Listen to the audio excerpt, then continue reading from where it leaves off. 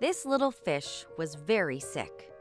He hadn't eaten for days, and his tail was hurt. Luckily, a rescuer wanted to help the little guy get better. First, she had to move him to a new tank with clean water, special fish medicine, and a water heater to keep the temperature just right. What a shy little guy. But after a few days, he started moving again.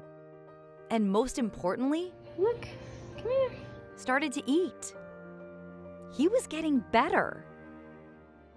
The rescuer couldn't believe it. Her pale little fish had become so beautiful.